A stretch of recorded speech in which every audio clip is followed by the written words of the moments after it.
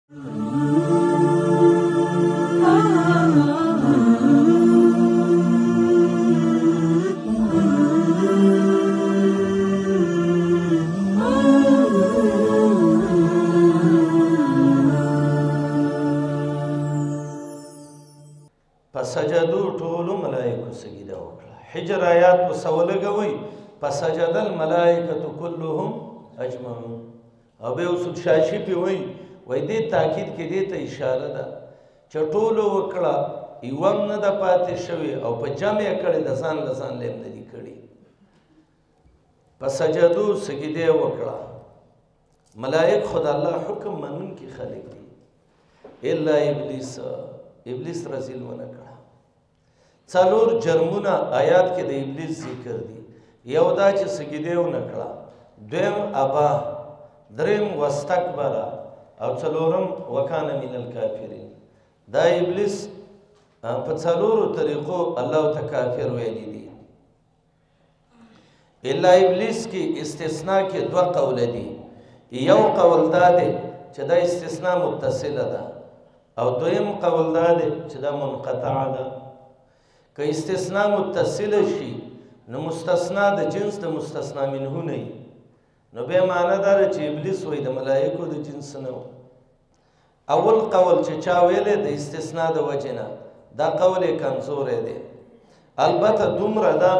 چې کان مغرورا فی الملائک دا ملائکو کې پټ شوی و پټ ملائکو کې ناس دلته یو اشکال راځي اشکال دا دی چې الله حکم د سجدي چاته کړی دی ملائکو ته نو ابلیس باندې ولې لعنت کې ابلیس ته نه دی شوی وردی خبره ته توجه شته حکم د سګیدې چاته وشو ملائکه ته نو ابلیس ولې لعنت شو نو د دې یو جواب علما کوي چې ابلیس دای کې پټو او د دې د سیو لکه د غټ طالب سره چې وړو کې طالبي چړې وسای نو چې مشر ته حکم وشي کشر ته په طریقې اولا کې ملائکه ته حکم شوو دا حکم دته خو نه دې جوابونو ته څه ضرورت دی قران به وګورو چې الله حکم نه کړي چاته نو رب العالمین چاله عذاب نه ور کوي او نه څوک لعنت کوي الله لکه څنګه چې ملائکه ته حکم کړو چې سجده وکړي ابلیس ته هم کړو سورته اعراف وګورئ دولسم آیات قال ما منعك الله تسجد اذ امرتك اے ابلیس مخ دې ورکشا ولې د سجده ونکړه کله چې ما ته حکم وکړ مردار مخه د سجده دې ولې ونکړه ناغه قیاسون شروع کړه قال انا خير منه ادم د چا زوی دې سو ته سجده وکړ زته غوړې ما خلقتنی من نار و خلقته من طین زه د اور نه پیدا یم او هغه د خاورو نه د نس مقابله کې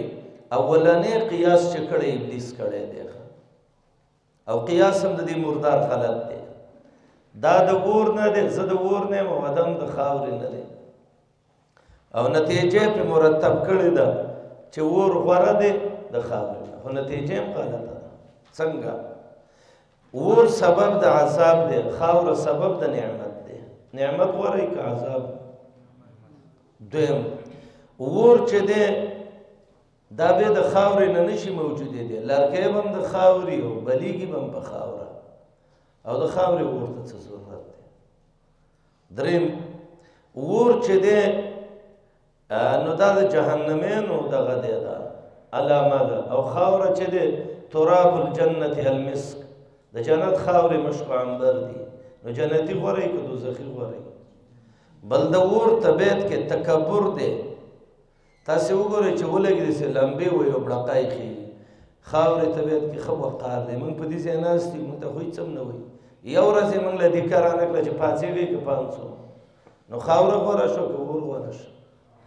خاوره خود د قیاس هم غلط دی خلقتنی من نار وخلقته من طين او قیاس باندې نتیجه هم غلطه ده ابلیس یولس ځل قران کې دا لفظ ذکر شوی دی بعض علما وایي دا عجمی لفظ دی او غیر منصرف دی یو پکې عجمه ده عالمیت دی او څوک پکې وزن فعل هم وایي زجاج نه دا نقل دی بعضې وایي دا عربي لفظ دی او دا مشتق دی د ابلاس نه ابلاس څه ته وایي بعد ته دا د خیر نه ډېر لرې دی ډېر بې خیره دی او بعضې وایي چې دا د بل سنه غستې شوی دی د څه شي نه بل سنه او بل سوی نا امیدی تا او دا نا امید دی د الله د څه شي نه د رحمتونو نه او بغوی لیکلی دی چې سوریانی کې به دته عزازیل ویو شی به وته ویو عزازیل به وته ویو عربی کې به دته حارس ویو کله چې ګناي وکړه نو الله ول شکلم بدل کړ نو مې مولا بدل کړ نو ابلیس نو مې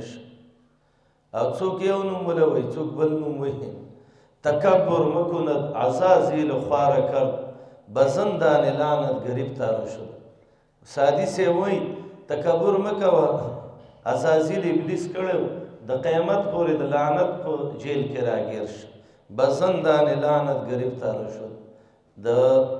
تکبر ډیر خوشی شه دی خان انسانانو موږ د آدم بچي یو،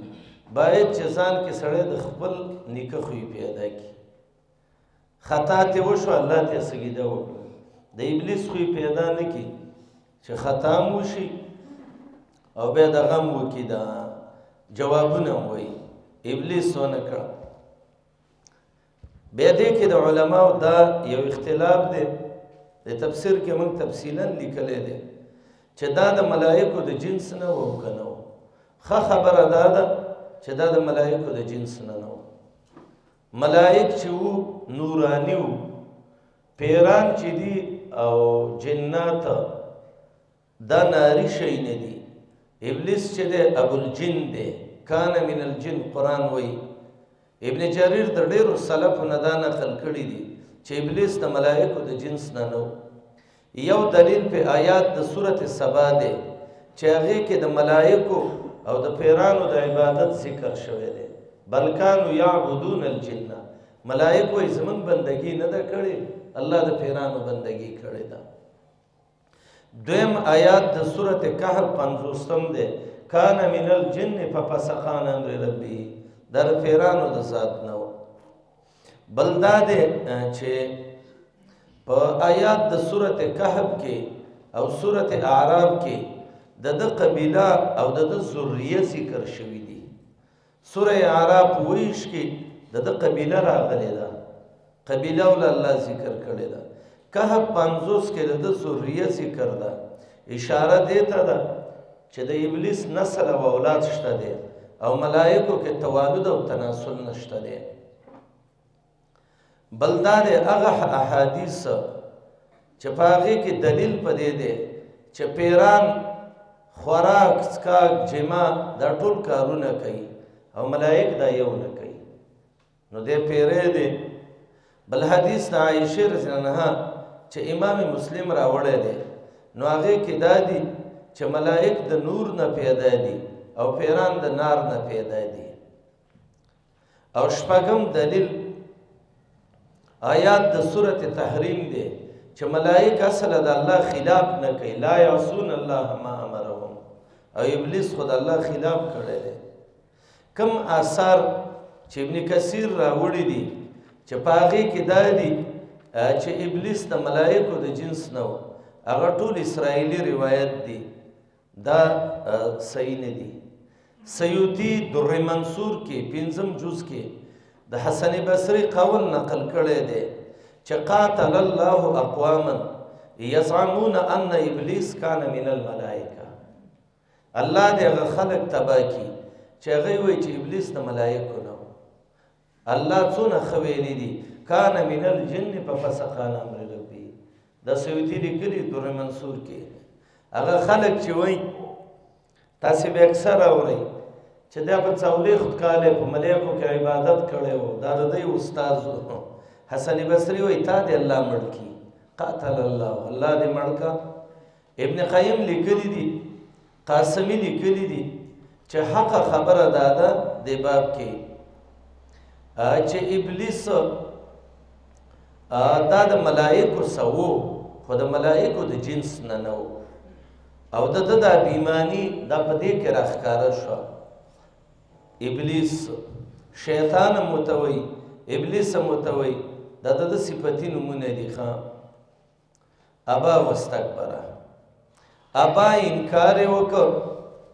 واستكبر او تکبر وکړ دا دواړه جملې ترکیب کې یا خو مستانفي جملې دي او وهم د پښوې دې دې کې چې ابلیس سجده و نه کړو نو څه وکړو نو الله جواب وکړ چې ابا واستكبر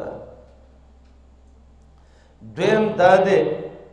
دا علت د مخ کې دی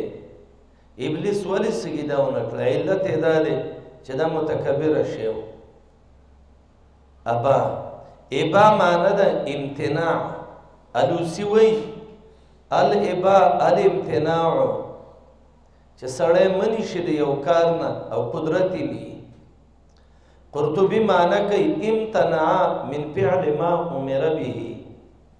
الله چې ته څه حکم کړو دا غي نه دا منې شه حدیث کې راځي کله چې انسان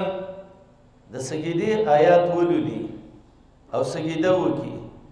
شیطان استه یو غاړي ته شي او جاړي او وی یا ویلی عمر ابن آدم بالسجود فسجد فله الجنه ګوره دا دم بچی ته ویل شو سګیده وکړه سګیده یې وکړه جنتي شو و امرت بالسجود فابیت فلی النار ما ته د سګیدې حکم وشو او ما انکار وکړ مسلم کې حدیث دی نو زه دغه شومه ده جهنمی شومه قاعده دا یاد کړئ ابا یابا دا غباب دی چې د دې مثبت منفي راځي او منفي څه شي راځي مثبت راځي مثبتها منفي ومنفيها مثبت مثبت منفي دی او منفي څه مثبت دی طالبان ورونو دې خبره باندې لږ ځان پوه کړئ دې کې چې نه پې راتله معنی به د اثبات کوئ لا یعبا څه معنی انکار نه کوي مني منفي دی که او ابا معنی څه انکار کوي زال یزولو زال معنی څه ختم شه او لا یزولو معنی څه همیشه دی ابا دوا استکبار درې او کفر وکانه من الکافرین د دې ظالم نور جرمونه مو سورته اعراف حجر بنی اسرائیل کهف طه صاد کې روان دي خدای غټ غټ جرمونه آیات کې دلیل دی دی باندې چې کوم سړی د الله حکمونه نه مني نو دا غي په وجه باندې انسان څه کیږي الله تبا کوي او ذلیل کوي بل آیات کې دلیل دی دی باندې چې د الله حکم د توشو به باغی کې قیاسونه نه کې مشهور تابعی محمد بن سیرین هغه به ویلي اول من قاس په مقابله النص فهو ابلیس فمن قاس الدين برأيه قرنه الله بإبليس چا چې دین کې په خپل رې باندې د کتاب او سنت خلاف قیاسونه شروع کړو الله به د ابلیس سره یو ځای کې ښا وکان من الکافرین دې جمله کې دوه معنی دي یو معنی کان کې د ماضی معنی ده او معنی ده ده دا شی په خوانه کافر وو به دې کې دوه معنی دي یو معنی ده ده کان فی علم الله من الکافرین د الله علم کې دا د پخوانه کافر وو چې دا کافر دی او کفر بخکاره کوي او اوس د خاتمه په کفر شو امام بخاری حدیث راوړی دی انما الاعمال بالخواتیم عمل د دې خاتمې ته کتل غواړي کله سړی ښه عمل کوي خاتمه خراب شي او دویم احتمال دا دی چې وکانه من الکافرین شی په خوانه کافر وو خو منافق او ملائکو کې وو الله ولدا کو پر ښکارا کخا او دویمه معنا کان په معنا د سوار سره قطاده وی او کاله کله په معنی د سواره سره راځي لکه سورت هود درې څولېخ کې فکان من المغرقین هلته کان معنی څه ده سواره من المغرقین نو دلته معنی وکړي بس سجده و نکړه کافر شو ابلیس یو سجده نه ده کړې او څه شي کافر شو سارمونز کې څو سجدي دي څلور ماسپخین کې څو دي او زما او ستا مسلمان ورور دا چې دا په درجنو درجنو سجدې نه کوي او دا به کافر کیږي کنه به کافر کیږي دا خو د کوپر نه څلور پیړۍ مخکې وړي ښا وکانه من الکافرین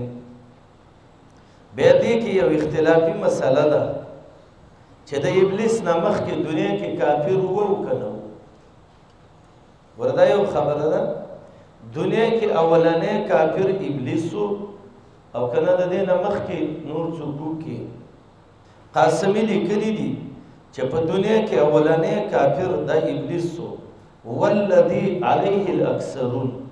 ودا د اکثر قول دی چې ابلیس اول کافر په دنیا دنیا کې د کوپر اولنې بنیاد چې خېده نو هغه کافر ابلیس دی ښا دویم قول ما وردی لیکلی دی النکت والعیون کې چې د دنه مخکې نور پیرانو کې کافرانو خدای دا اوس کوپر کې موافق شو نو وکانه من الکافرین دا معنا دا د مخکینو خلکو د کافرو د ډلې نه وګرځیدل حسن بصری لیکلی دی چې کان من الکافرین وليس قبله کافر دا کافرو ددنه مخکې بل سره کافر نو او به وی کما کان من الجن وليس قبله جن ددنه مخکې پیرانم نو دی پلار ته پیرانو نو چې پلاری کافری دا نور خو په خپل هم پسې به دسیخه نیکانم پکشته بدانم پکشته دا خبره وړي ډېره زیاته غوره ده چې ابلیس دا اولنې کافر دی دنیا کې اول کافر څوک دی ابلیس اول قاتل څوک دی قابل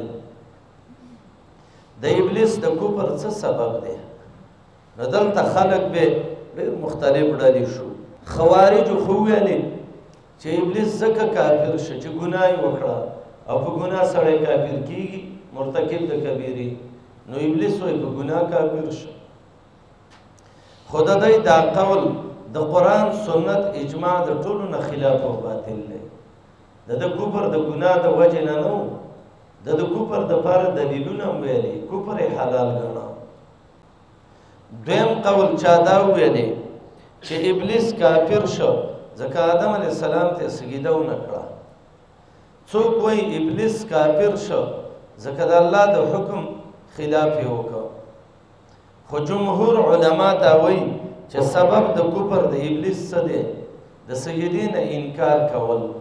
او بیا خېله دلیلونه ویل دا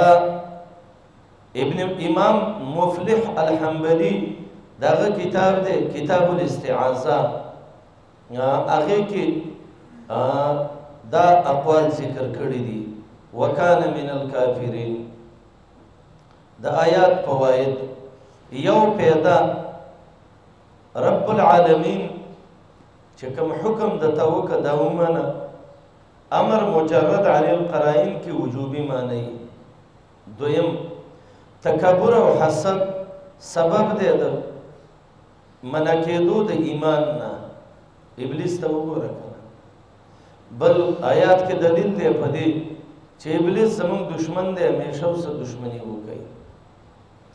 آیات کې په دې دلیل دی چې بعضې ګناهونه سړی کافر کوي او د ابلیس څلور صفاتونه آیات کې ذکر شو ابا استکبار او استکبار د حق نه او استکبار په خلق باندې او کفر قیاس فاسد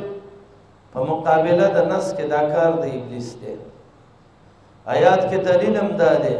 جمع صيغه کله د مفرد پسې شی راوړلې ګوره قلنا راوړې ده او امر مجرد د قرائنو نه وجوبي معنی و اذ یاد کا غوا قلنا چې موږ ویلو للملائکه ملائکه تا اسجدو سجده وکړي لآدم ادم علیہ السلام ته فسجدو ټول سجده کړي وا الا ابلیس مگر ابلیس نه وکړي ابا انکار کړو واستكبر لوی کړو بطر الحق وغمت الناس حق پټول او خلق تسبق قتل دې ته تکبر وای وکانه من الكافرین درې وړ معنی کوم ګورئ وو د الله په علم کې په خوانه کافر دویمه معنا وو دا د کافرونه خو منافقت کوو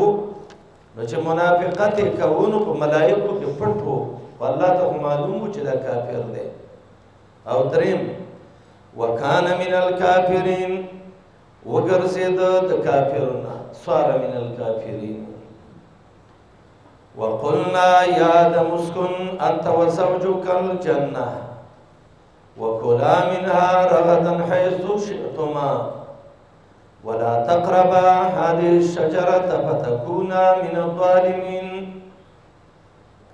دې آیات کې دوا اوامر او یو نهي دا عنوان د آیات دی آدم علی السلام ته الله ویل آدم ته او ستا خزا جنت کې اوسېږي اوس کون دا یو امر وکولا دا دویم امر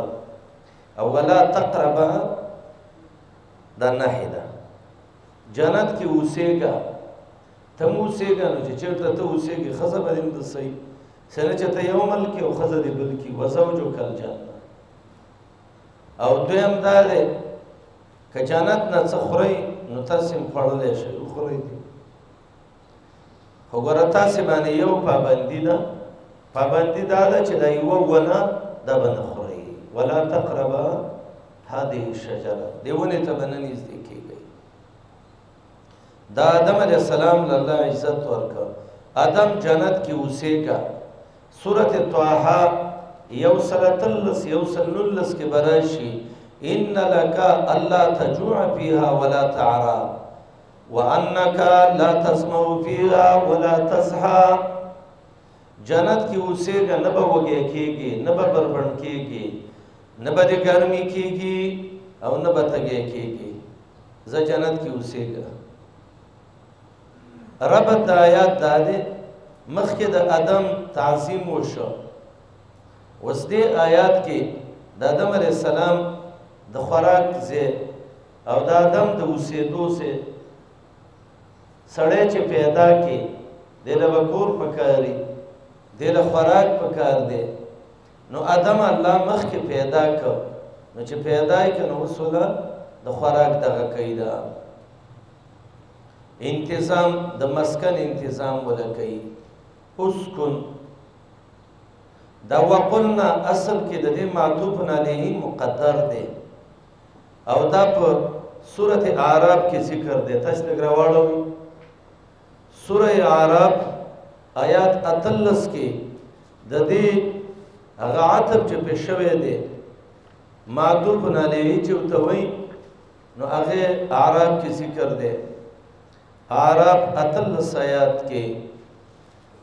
ويا آدم اسكن أنت وزوجك الجنة آدم علیه السلام ته مو سیګه او خزه باندې نو جنت کی آدم ته مو سیګه خزه باندې جنت کی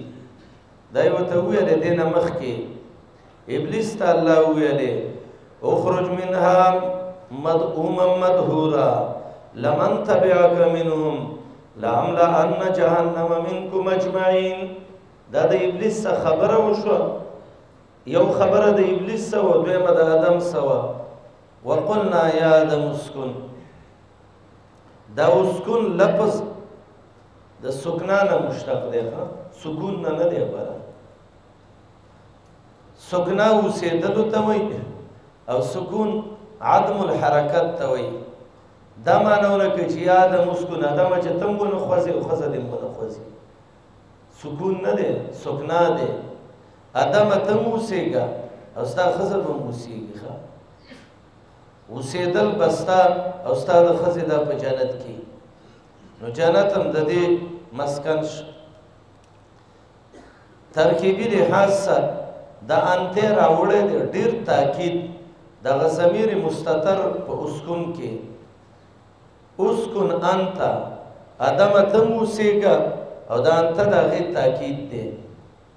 او وزوجو کا دای په عتب کړي دی اشاره دی ته دا چې خزه په اوسېدلو کې د خاون تابع ده دا یو مسله راغلی و د صحابه مینس کې چې یو سړی د یو خزه سواده وکي او دا غجینه پلار وته وای خاون ته ولا چې ته به ما سه اوسېږي بل ځای له به نه ځي او خاون دی وای زه خپل وطن ته ځم نو تلې شي او کني شي صحابه نه چاته پوسو کبای صحابه ویل وعده کړی دا شرطونه دي او شرط به پوره کیږي بده به نه سي عبد الله بن عباس دی عبد الله بن عمر دی رضی الله عنهم چا ورته وویل د دې مسلې به څه کېږي هلک شرط لګولی چې زه به د سخر سره اوسېږم سخر یې ورته ویلي و بل خوا به نه ځې اوس هلک وایي زه کور ته ځم څه به یې عبدالله ابن عباس وایي یو د الله شرط دی یو د خاوند د دې ښځې د پلار شرط دی د بنده شرط خدا دی چې ما سره اوسېږي خو د الله شرط دا دی چې اسکنوهن من حيث سکنتم چې خاون چیرته زړه غواړي اوسي نو خزه به وسلته اوسي د الله شرط مخ کې دی خزه ته وي خاون پسې دي ځا کله د پلار کور کې کې نه یو کله بل څه نه وی او کله بل څه نه وی خزه به اوسېدلو کې د خاون تابعداري ښه نن سبا دا مسلې شته دي نه شل دېرش کاله به خاوند په بار ملکونو کی خزه به دلته ای لکه د دولو سکلو کونډه چی نه اسلام خدای اجازه نه ده کړې دا وګد سفرونه عمر رضی الله عنه پابندی لګولې و چې د خپل لور نه تپوس کړي چې خاون څونه وخت سفر وکړي هغه ول څلور میاشتې عمر رضی الله عنه شپږ میاشتې باندې به فیصله وکړه خاوند تل لس کاله پنځه کاله شپږ کاله دا د اسلام نه خلاف اصول دي ته چې دونه د سفر شوقي خزه دې بوزه ځان سره شریعت خو تا ته ویل دي چې ادم وګوره اوس کو نه انت وسو چوکا نو جون بستام برابرۍ دا غیبم برابرۍ خزه وسیدلو کې دا د دغه تابع ده د خاوند تابع ده اسکن انت وزوجک الجنه او د لفظ کې اشاره ده دیتا چې د آدم علی السلام د پاره الله بي بي پیدا کړه حدیث د مسلم کې دی د چپې پختې نه پیدا کړه به دې کې چې کوم روایت باسي راغلي دي هغه اسرایلی روایت دی صحیح روایت دا دی چې د خزه او د خاون الله ژوند یو بل پسې تړلې دي نو اوسېدلو کې بندا د یو بل تابع ښه اسكن انت وزوجك الجنه اوسېګه ته او دغه د خزه بنیم د صحیح جنت کې ښه انصاف نه کار غستل غواړي بې انصافي نه یې په کار ده یو کال ما درس کوي یو ځای کې یو بوډا راغی وایي تا خو ما ته کور کې ډېره لانجه جوړه کړه ما لې ولې وایي څلور زامن مې دي او دا شپږم کال دی چې مسافر دی اوس نه ښځې وایي چې مولوي صاحب مسله کړې نو ما ته ویل خو یا زامن دې راوله یا پسې دا ولېږه رب ظالم نه دی رب ډېر حقوق او ډېر زیات صحیح طریقه باندې موږ ته د دین لارې ښودلې دي اسکن کې امر څوک وي د اباحت لپاره دی قطاده وي د ادم علی السلام امتحان یو داو چې جنت کې به اوسېږي ورداونه به نه خوري الجنه دې کې د علماو اختلاف دی چې دا جنت زمکه کې وو که اسمان کې وو نو ډیر اقوال پکې خلک ویل دي څو کوئی دا زمکه کې یو جنت او عدن کې څو کوئی د فلسطین کې او څو کوئی چې دا د پارس او د کرمان مینس کې یو باغ وو چې هغه کې آدم او حوا الله پیدا کړی او د دې لپاره ډېر دلیلونه وایي یو دلیل دا دی چې حقیقي جنت او شیطان نشي داخليدلی او دغه جنت ته ورغلی دی دویم دلیل دا دی چې جنت ته څوک ورشي به ته راوځي نه آدم او حوا ته ولې راوتی دي او دریم دلیل دا دی چې جنت کې خو عصيان نه او دلته خو ابلیس هم عصيان کړی دی او آدم علی السلام نه مونږه خړل شوی ده او بل دلیل دا وایي چې حقيقي جنت ته به انسان په عمل باندې داخلي او دی خو بی عمل ورغلی ولا نو وای دا حقیقی جنت نه دی او دا زمکه کې یو باغو الله ته جنت ویلې ابن قیم کتاب لیکل دی حادی الارواح الى بلاد الافراح خ کتاب لیکل دی او دویم کتاب دی مفتاح دار السعاده د دواړو جانبینو دلیلونه جمع کړي او اخر کې هغه وایي چې دا قول څوک وایي چې آدم علی السلام جنت کې یو باغ وو جنت نو او د دنیا باغ وو او یا د پارس او د کرمان مینس کې یا فلسطین کې او یا په عدن شامیه کې وای دا د ملحدینو او د فلاسفو او د معتزلو او د مبتدعين قول دی او دا خلاف ما عليه سلف هذه الامه دا د جمهور سلفونه خلاف دی الوسی لیکلی دي چې دا خبره څوک کوي چې دا جنت نو او دا د سمکه یو زیو دویم جز کې وای وای پاس پما سکرو یجری مجرا الملاعبه بالدین والمراغمه لاجماع المسلمین وای دا خو دین پسې دی لوبې کوي څه ټوکې کوي او د مسلمانانو اجماع راخلی او په خاورو کې ککړی مفسر قرطبي وای ولا التفات لما صحبت الیه المعتزله والقدریه معتزله او قدریه چې وای چې دا حقیقی جنت نو دا وسه غلطه خبره کوي صحیح دا ده چې دا جنت دی کوم چې دارالثواب دی او د دې یو څو دلایل دي اول الجنه کې الف لام اهدی دي معهود دغه جنت دی دویم دا دی چې قران او سنت کې کله جنت ذکر شي نو انت مطلق جنت نه دغه جنت مرادي د زمکه باغونه ته نه دي مراد دریم یو اثر کې راغلي دي چې ابلیس نافرمانی وکړه نو د قیامت پورې د الله جنت تبه دا نشي ورتللی خام څلورم دا لفظ د احبیتو راغلی دی حبت کوزیدلو ته وایي نو معنا دا چې د حقیقي جنت نه کوشي پنځم رست الله وایي ولکم فی الارض مستقر نو کده دینه د زمکه باغ مراد وي نو به فی الارض ذکر کولو ته ضرورت وو ابو علي جوبایي وای وای دا وم اسمان کې جنت وو نو الله ته یو څل ویل کوشي دې نږدې ته نو به وته ویل چې دغه شی دا ازمکه ته کوشي او بعض خلک دا وای چې دې کې موږ توقف کو ځکه موږ ته دلیل نه دی راغلی صحیح خبره ده چې ولې دلیل نشته دی حقيقي جنت کې او که څوک دا اعتراض وکړي چې هغه ته ابلیس نه ورځي نو ابلیس به نه ورځي خو دراوتلو نه بعد به نه ورځي او که څوک وایي چې انسان د جنت ته چې نه نوځي بیا نه راوځي ادم او حوا به یې څنګه راوتي دي نو ادم او حوا به الله جنت لنو پیدا کړی چې دا به جنت کې اوسېږي الله زمکه کې پیدا کړیو او هغه کله چې په عمل او ایمان او د الله په رحم رسته ورننوزي به دا غیر رسته وتل نشته ده